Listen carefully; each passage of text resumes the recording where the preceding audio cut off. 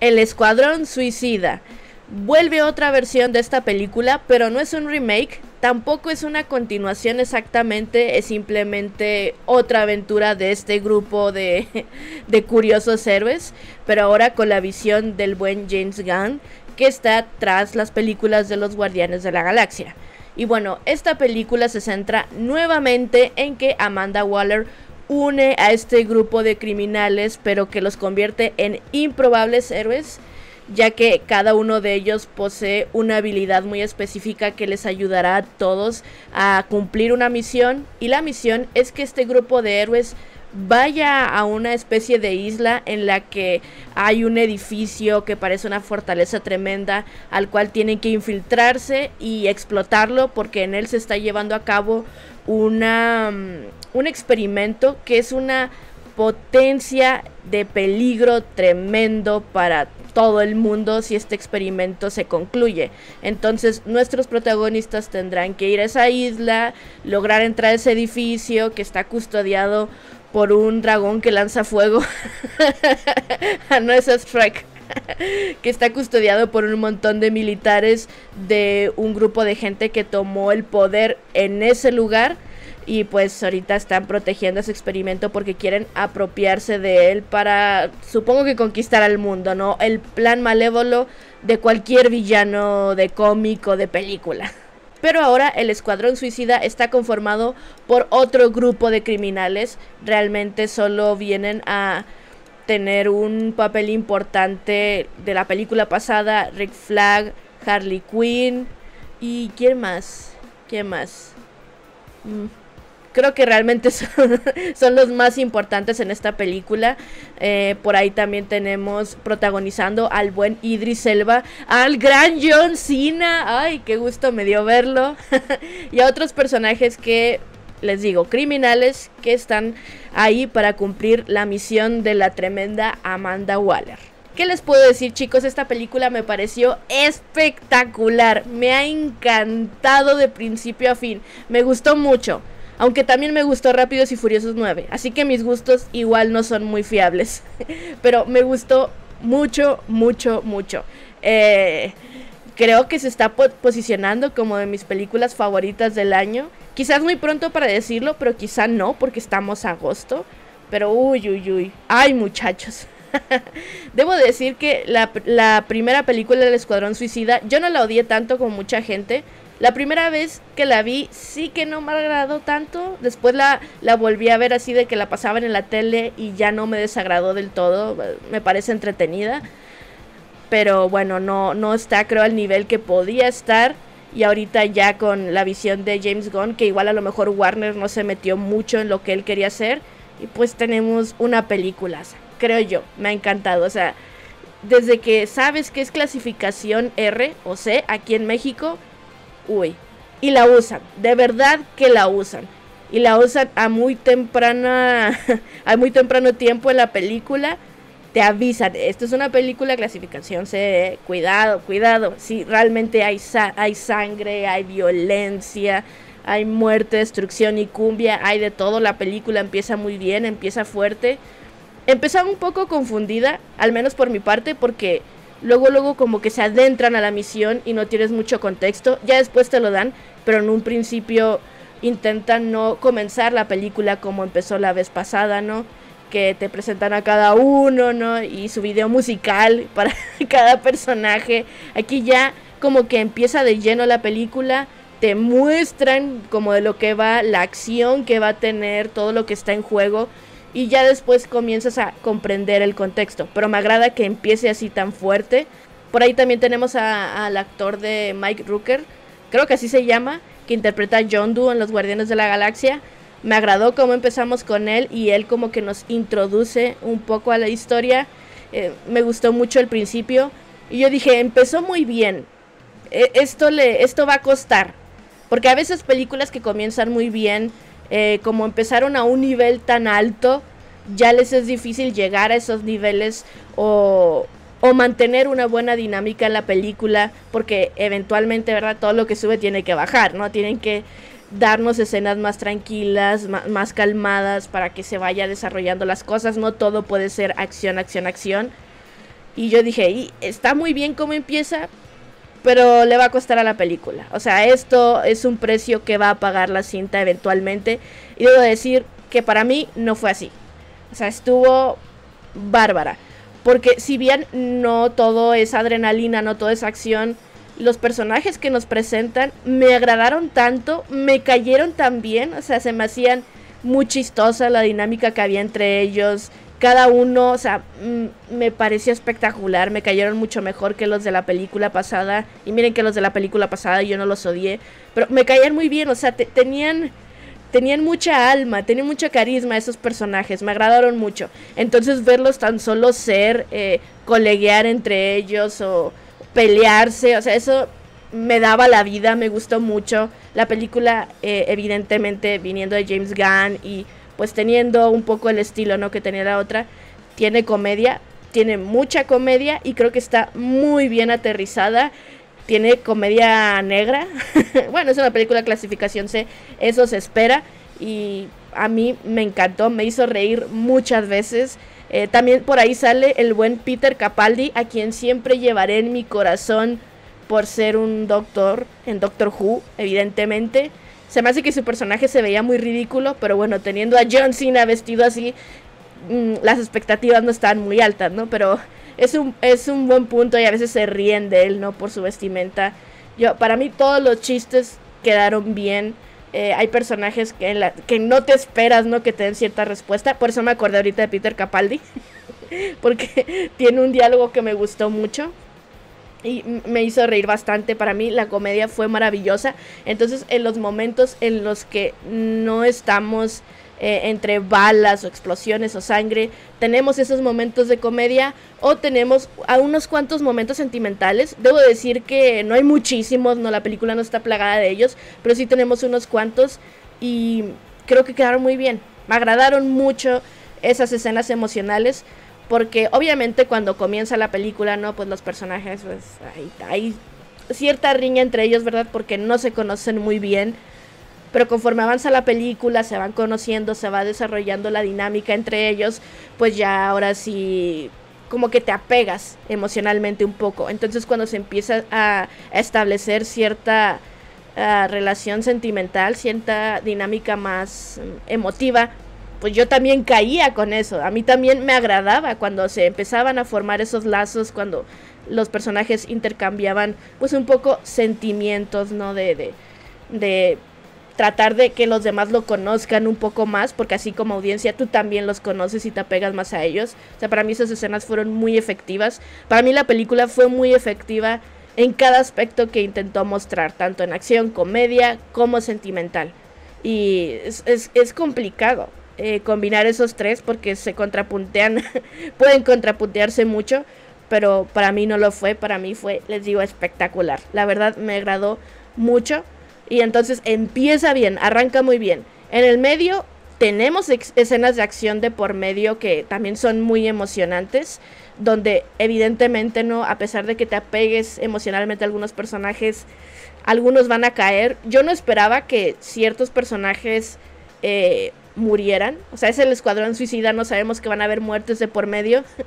Eh, había unos que yo dije, este es carne de cañón y podrían sorprenderles los que no son carnes de cañón al final del día y los que eventualmente caen. O sea, yo quedé muy sorprendida por eso, la verdad.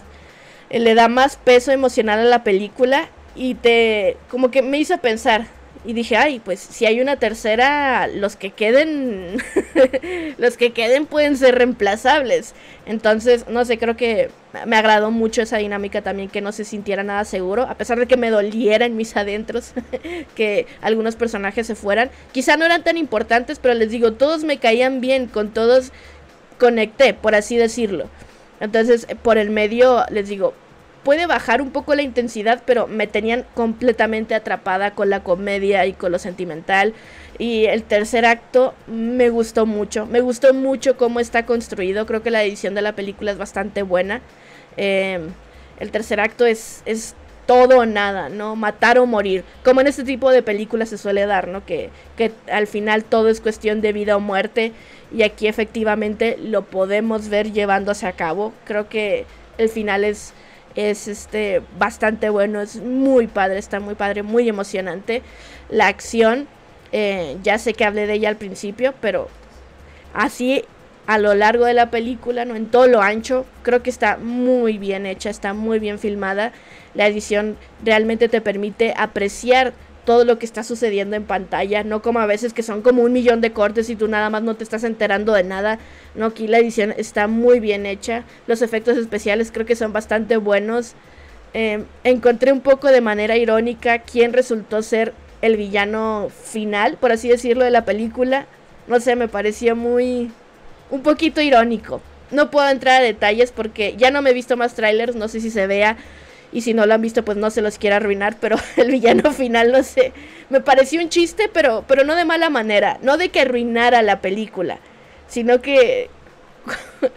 como que la temática de ese villano, no sé, me pareció muy curiosa, pero me pareció una manera muy buena de finalizar la película. Este tipo de cintas no suele caracterizarse a veces por sus grandes dotes de, de actuación en cuestión de, de los personajes pero creo que estuvieron muy bien. Obviamente ya sabemos que Margot Robbie la, de, la, recontrasale, ¿no? Con, con Harley Quinn. Sabemos que ella es maravillosa en ese personaje, nació para interpretarlo. Pero siempre da un poquito de cosa ver a, a, los nuevos. Esta película realmente es dominada por el nuevo elenco. Fuera de ella y Joel Kinnaman como eh, Flag, como Rick Flag. Y aquí es más agradable. O sea, a pesar de que en la primera película le ponen como este dilema amoroso con Enchantress, creo que aquí cae mejor. obviamente te cae un poco mejor porque a lo mejor ya lo viste en la película pasada. Pero creo que aquí lo hacen un personaje más agradable. Tiene momentos donde, donde cae mucho mejor. Y obviamente les digo, pues ellos dos, como ya los conocíamos, igual es más sencillo que te caigan bien. Pero por ejemplo, Idris Elba, que es un as, o sea, Idris Elba for President.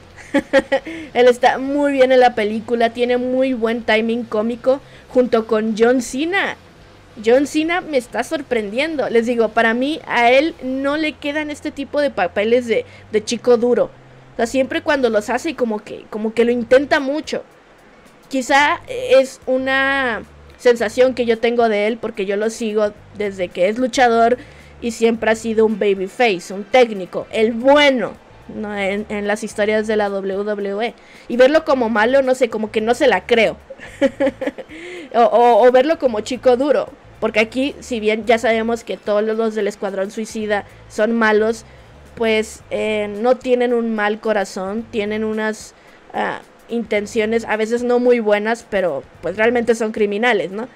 Y aquí lo vemos como el chico duro, pero que tiene unas intenciones muy curiosas. Su personaje es el Peacemaker, entonces, para él hay que lograr la paz, no debe de haber nada que disturbie, pero a su vez se va a cargar a cada persona que se atreva a hacer algo en contra de la paz y la libertad.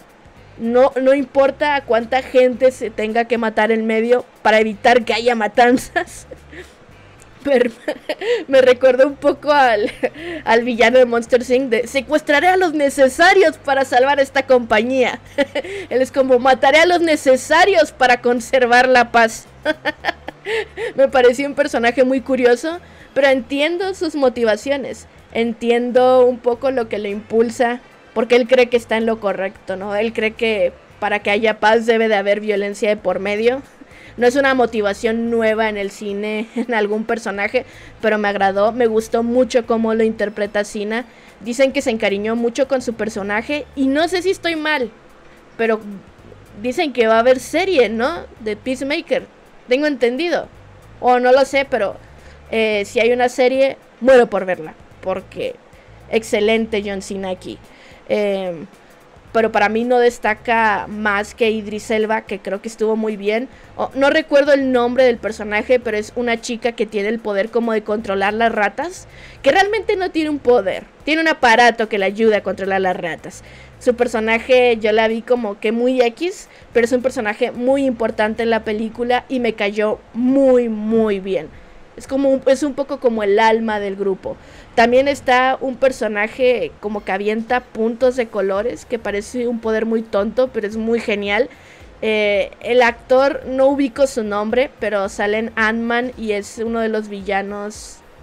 Villanos es el loco que escapó de Arkham en The Dark Knight.